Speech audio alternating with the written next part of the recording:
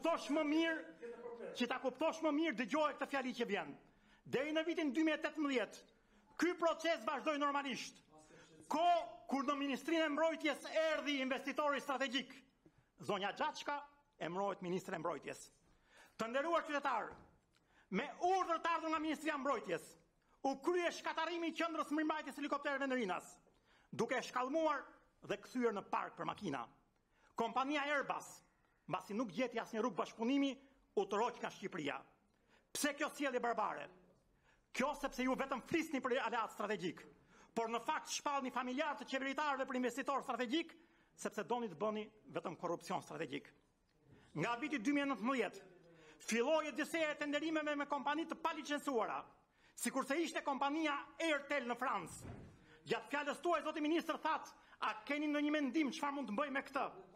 Çfarë doni te Airtel në Francë? Çfarë doni tek Airtel në Francë? Një kompani që merret me riparimin e shtyllave të tensionit të lartë. Një turp i vërtetë. Ajo mori përsipër riparimin e helikopterëve Cougar, por që rezultoi një dështim i plotë.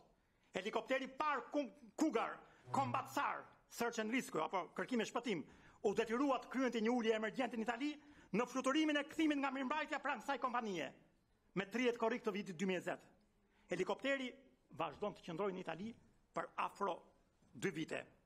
Abuzimi tjetër që bëri Ministria e Mbrojtjes me prishjen e kontratës së kompanisë Airbus qëndron në faktin se për çdo shërbim, helikopterët duhet të dalin dhe transportohen në rrugët tokësore nga Shqipëria nëpër shtete të ndryshme në Europë. Kuptohet që çdo transport është një tender më vete për ju. Gjendja e gatishmërisë së helikopterëve mbas vitit dy mijë e nëntëmbëdhjetë është shumë e ulët. Në përqindje dhe konkretisht, nga katër Cougar në gatishmëri ka qenë vetëm një.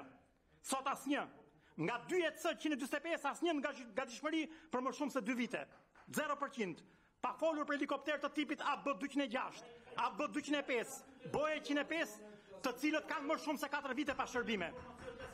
Helikopteri helikopteri EC 145. Zoti Xhafer. Zoti Xhafer.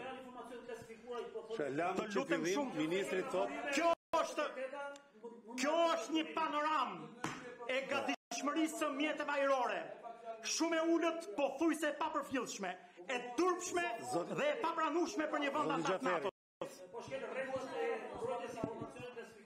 Gjatë tre viteve të fundit, gatishmëria e Flotës Ajrore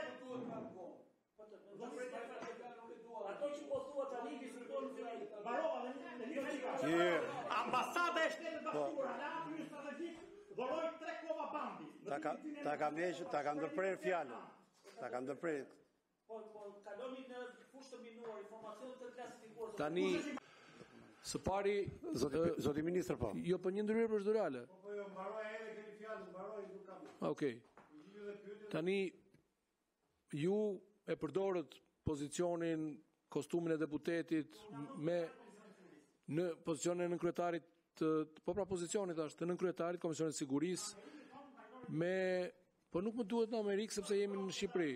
Unë e di që e, e, e di e di ndjeshmërinë tuaj ndaj aleancave tona strategjike, por nuk është ky rasti.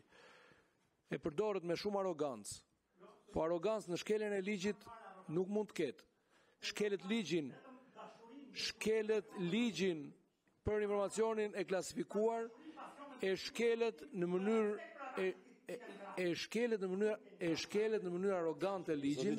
Po, ndonëse unë ja u rikujtova që në fillim dhe nuk ja u rikujtova ligjin sepse donim të fshihnim ndonjë gjë, se s'ka fatkeqësisht nuk nuk ka ngelur gjë për të fshehur, por ta shkelësh ligjin Pikërisht këtu ku bëhen ligjet në mënyrë kaq përfillëse për informacionin e klasifikuar edhe për sigurinë kombëtare, duke qenë nën nënkryetar i Komisionit të Sigurisë Kombëtare, të të bësh të njohura kapacitete me dobësi apo pa dobësi të Forcave të armatosura është shkelje e ligjit për informacionin e klasifikuar që ju sapo e konsumuat.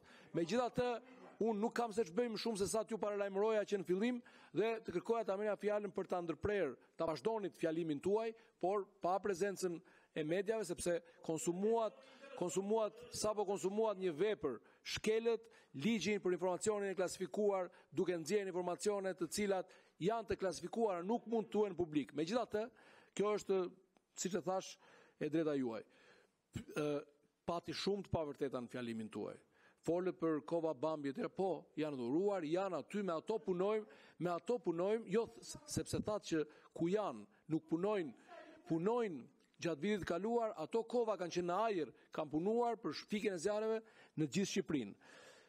Folët për një qendër të kompanisë prodhuese të helikopterëve Cougar, kompania Airbus, nuk është e vërtetë, nuk ka patur qendër të kompanisë Airbus në në në Shqipëri. Ka qenë një kompani tjetër italiane, të cilën tani tani tani ju tani tani ju, ju kërkoj për një moment fikni vetëm sa të për të thënë një fjali, fikni këtë komunikimin publik, fikni kamerat një vetëm një, një vetëm një, një minutë. Dakord? Me këtë kompani kemi prishur kontratën për dy helikopterë që po i çojmë në NATO, sepse siç e thashë po na nxjerr ujë të zi dhe juve duhet bashkoheni me mua, duhet bashkoheni me mua, jo të bëheni kundër meje, kundër nesh, kundër shtetit shqiptar, për të mbrojtur interesat e një kompanie